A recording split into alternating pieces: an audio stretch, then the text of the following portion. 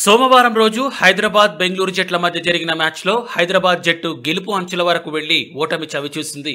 ఖచ్చితంగా గెలుస్తుంది అనుకున్న మ్యాచ్లో హైదరాబాద్ ఓడిపోవడానికి మిడిల్ ఆర్డర్ వైఫల్యంతో పాటు మూడు ప్రధాన కారణాలు కనబడుతున్నాయి. మొదటిది ఆల్రౌండర్ మిడ్చెల్ మార్ష్. తాను వేసిన మొదటి ఓవర్లోనే తీవ్రంగా గాయపడ్డాడు. అటు బౌలింగ్లో ఒక బౌలర్ని ఇటు మిడిల్ ఆర్డర్లో ఒక బ్యాట్స్మెన్ని ఎస్ఆర్హెచ్ కోల్పోవాల్సి వచ్చింది.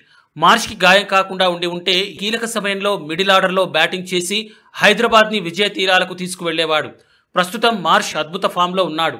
ఇటీవల ఇంగ్లాండ్తో జరిగిన సిరీస్లో అద్భుతంగా రాణించాడు.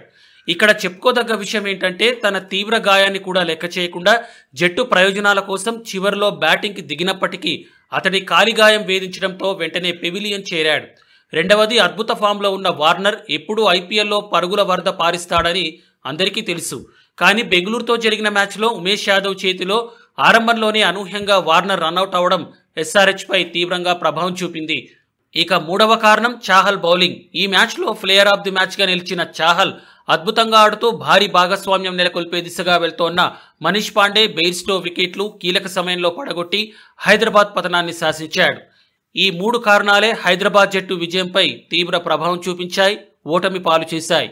ఈ వీడియో కనుక మీకు నచ్చినట్లయితే లైక్ షేర్ కామెంట్ చేయండి. మరిన్ని అప్డేట్స్ కోసం మా ఛానల్ని సబ్స్క్రైబ్ చేసుకోండి.